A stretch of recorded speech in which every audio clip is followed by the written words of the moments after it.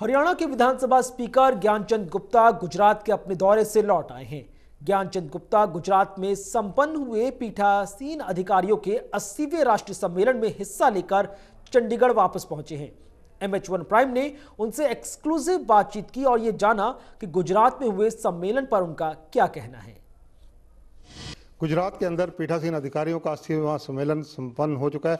हरियाणा विधानसभा अध्यक्ष ज्ञानचंद गुप्ता हमारे साथ मौजूद हैं। चर्चा करेंगे गुप्ता जी से।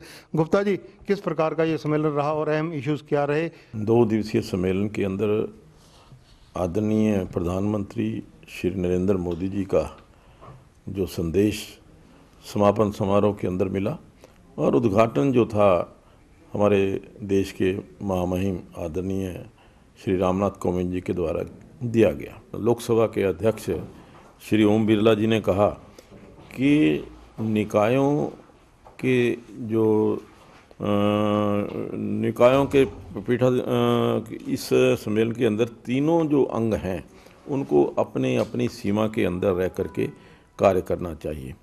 और दूसरा ये भी कहा गया कि जो विधायिका है या असेंबली के अंदर असेंबली को चलाना जो है वो चाहे वो स्पीकर है या जो लो जो वहाँ पर सदस्य हैं विधायक हैं उन दोनों की जिम्मेवारी है। कौन कौन से ऐसे पाँच रेजुलेशन रहे जिनका ज़िक्र वहाँ पर हुआ और पास किए गए? एक तो ये था कि एक संकल्प पारित किया वहाँ पर कि संविधान ने सदैव जनता को केंद्र में रखा है।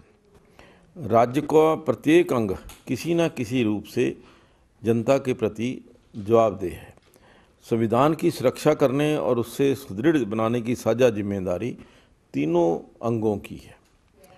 दूसरा था कि जो पूरे देश के अंदर, जैसे उत्कृष्ट सांसद जो है, पार्लियामेंट के अंदर चुने जाते हैं, इसी प्रकार से एक पूरे देश के अंदर सभी विधानसभाओं के जो उत्कृष्ट स्पीकर हैं बेस्ट स्पीकर अवार्ड, वो भी शुरू करने का वहाँ पर निर्णय लिया गया, जो इस प्रकार के सम्मेलन आयोजित किया जाए, जहाँ पर लोकतंत्र को कैसे और मज़बूत किया जा सकता है, लोकतंत्र में जनता के क्या अधिकार हैं और क्या कर्तव्य हैं इसके बारे में भी भी लोगों को जानकारी दी जा सके इस प्रकार के सम्मेलन आयोजित करने का निर्णय किया गुप्ता जी वैसे तो जो आपने भी ज़िक्र किया जिस प्रकार से विधानसभाओं में बजट पास होता है लेकिन विधानसभा के पास अपनी कोई वित्तीय शक्तियाँ नहीं होती। इसको लेकर हरियाणा में कैसी पहल देखने को मिल सकती है?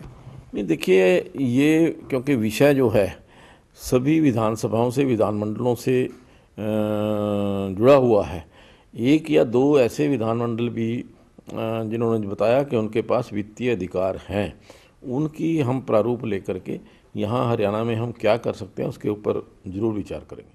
धन्यवाद गुप्ता जी तो ये हैं ज्ञानचंद गुप्ता, जो कि पीठासीन अधिकारियों के अस्सीवें सम्मेलन से लौटे हैं। इनका कहना है कि विधानसभाओं को आर्थिक शक्तियाँ मिलने के बारे में भी वहाँ पर ज़िक्र हुआ है और हरियाणा भी इस बारे में रिव्यू करेगा जहाँ जहाँ विधानसभाओं के अंदर ऐसा एक दो जगह देखा जा रहा है। वैसा हरियाणा में भी कैसे अपनाया जाता है, उस पर अध्ययन किया जाएगा। कैमरामैन जितेंद्र हंस के साथ Chandrashekhar Dharni M H one news Chandigarh.